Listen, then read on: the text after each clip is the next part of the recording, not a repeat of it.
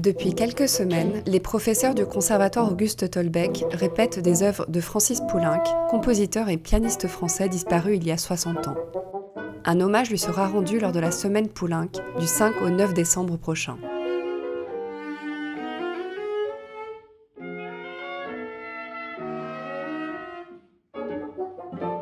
Des auditions d'élèves musique et danse seront à retrouver du 5 au 7 décembre en entrée libre.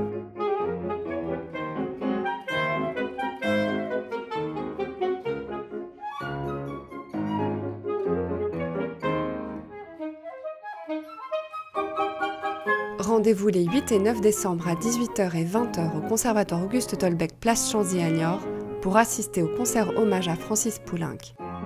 Réservation conseillée sur nioraglo.fr.